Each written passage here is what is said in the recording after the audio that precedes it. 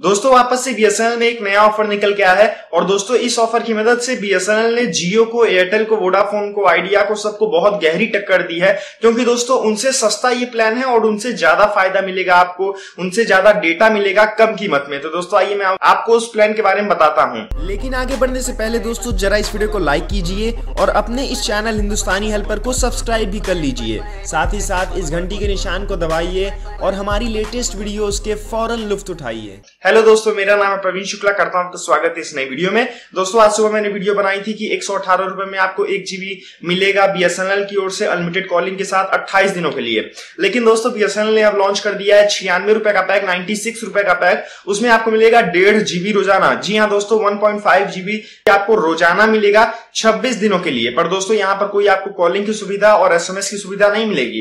तो दोस्तों, जितने यहाँ पर इंटरनेट फ्रेक यूज़र्स हैं, वो सब काफ़ी खुशियाँ मनाए बीएसएनएल वाले, क्योंकि दोस्तों, डेढ़ जीबी रोज़ाना काफ़ी अच्छी बात है, इतने कम कीमत में हमें मिल रहा है। बात करें जियो की दोस्तों तो जियो में आपको एक रुपए में डेढ़ जीबी रोज़ाना मिल रहा है। और एयरटेल की बात करें तो वन जीबी आपको रोज़ाना मिलेगा अट्ठाईस दिनों के लिए एक सौ निन्यानवे रुपए में। तो दोस्तों बीएसएनएल काफ़ी कम कीमत लिया है एयरटेल का तो आधा कीमत है, और दोस्तों जियो से भी काफ़ी कम इसकी कीमत रखी गई है। तो बीएसएनएल के यूज़र्स के लिए काफ़ी अच्छी बात है। मुझे काफ़ी खुशी मिली ये ऑफ़र जान के, क्योंकि दोस्तों, यहाँ मेरे घर में भी बीएसएनएल के सिम है।